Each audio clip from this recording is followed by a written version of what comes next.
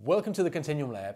The launch of the KontinuumLAB Instrument Kit version 2 is a success. To everyone who bought one of the first batch of kits, thank you. Your orders are on the way, and uh, I very much look forward to the workshops with the people who booked those. And uh, for the rest of you, if you don't know what I'm talking about, then here's a very quick recap. You can use the KLIK to fabricate a bunch of cool instruments. Like this. And this one. And this one here. And this, using simple materials and techniques. And I really mean simple. I'm about to give you a sub 5 minute crash course of most of what you need to know to make instruments with the KontinuumLAB instrument kit from simple to advanced. Start the timer. My name is Jeppe.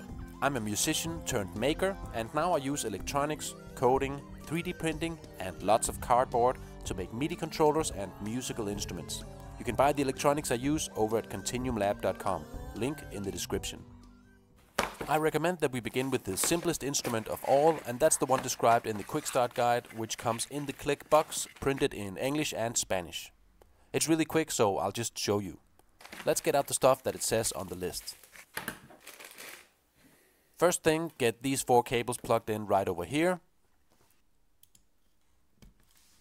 Then I plug in the earbuds so that I'll be able to hear the instrument. Next is power.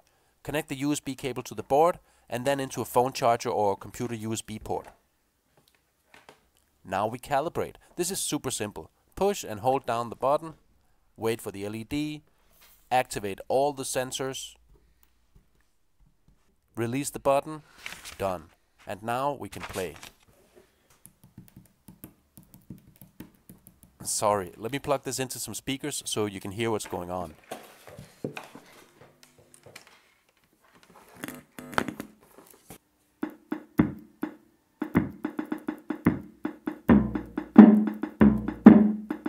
Then the Quick Start Guide uh, talks about capacitive sensors, and it basically suggests that I plug in some vegetables. So let's do that.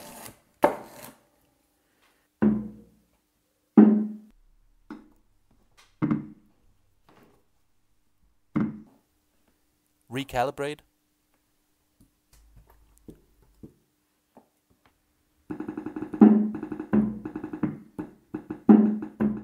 The KLIK sensors are capacitive, so you can make them out of all kinds of materials, but potatoes are probably not the most practical choice. The KLIK User Manual, which you can download from kontinuumlab.com, gives some good ideas about ways that we can improve on it, and it also shows how to make the rest of the instruments. My favorite way of making simple capacitive sensors is with thumbtacks, and we actually get a whole bunch of those with the kit. So let's get these other cables and plug the thumbtacks into them, like this. Now we'll make a quick structure out of corrugated cardboard. I'm recycling some packaging. It needs to be large enough to fit the KLIK board inside, but I'm also adding some extra space which will be useful later. And now we can distribute our sensors however we want. Don't forget to cover the sensors with some kind of tape as a dielectric layer.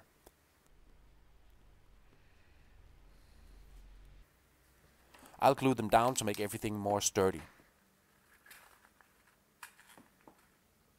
glue in the KLIK board as well. And we're done. These techniques are described in more detail in the user's manual, so feel free to download that and have a look. Let's quickly calibrate. And now all of a sudden it's almost like an actual instrument. I'll call it mm, the thumb drum. The sounds on the KLIK are okay, but they're kind of limiting. So it's a good thing we also have a MIDI output so that we can plug into any uh, USB MIDI capable synthesizer and use it to play whatever sound we like. So to make that work we have to change the KLIK settings and those are on the opposite edge of the board from where we put the key sensors. Grab one of these small jumpers which come with the kit, find the place that says MIDI and plug the jumper in there. And then we reset everything by unplugging the USB for a second and now the KLIK will output MIDI. Check it out.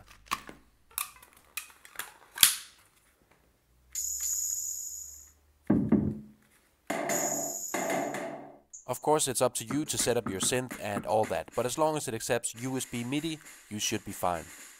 Now, you might have noticed that this instrument doesn't seem to have any sensitivity, and you're right. That's one of the reasons why this is the simplest one, and it's the main reason that we could even get away with potato sensors.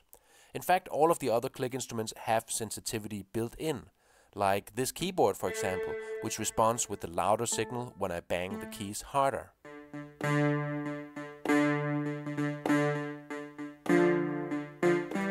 But I'm getting ahead of myself. Let's see what we can do with what we already made. Okay, this is going to sound a little bit crazy, but bear with me. We can turn this into an ocarina. I mean, think about it. It has four finger sensors on here, and I can see in the KLIK manual that a four-hole ocarina is one of the options. The way I see it, we just add a breath sensor and it's done. The KLIK User's Manual also describes a simple way of doing this. It involves using one of these sensor modules to measure the expansion of one of these balloons and all we really need apart from those things is a plastic water bottle and a rubber band. We cut off the top of the bottle and then stretch the balloon over this part here using the rubber band. Then we make a hole in the bottle cap or if you want we can make a larger and a smaller hole for full airflow while playing. See how that works when I blow in it? Now we just need to set it up with a set of simple cardboard supports inside the instrument so that the sensor and the balloon membrane are held 5 to 10 millimeters from each other.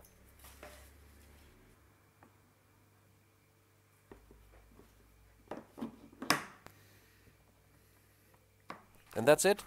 We'll have to calibrate this new sensor as well, of course, together with the other four, so let's do that. Oh, and of course we need to change the settings because right now the KLIK still thinks it's a drum. In this case, we'll insert some jumpers into these two selectors, like you can see in the manual. Let's save the calibration so that we don't have to do it again after we reset. Just press the button three times, wait for the LED to blink three times, and it's done. Now we can unplug, replug, and start playing.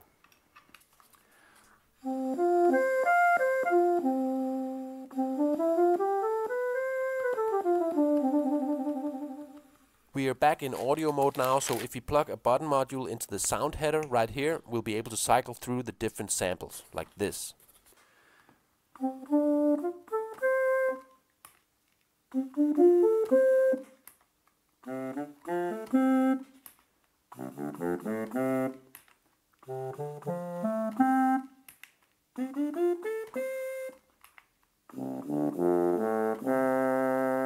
Okay, so that covers the basic techniques for making keys and breath sensors, which is going to allow you to make almost all of the KLIK instruments, like the recorder, for example.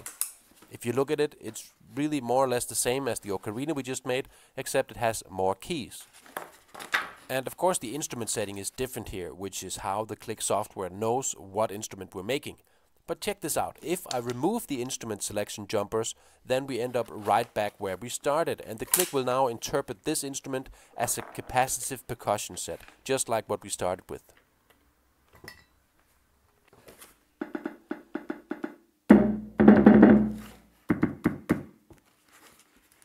So those are some of the basics of the KLIK.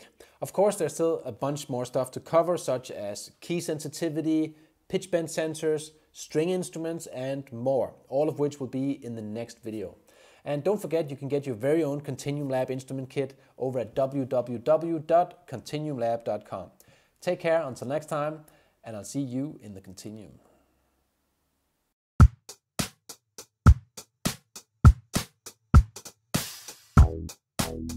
Ow, ow, ow, ow, ow,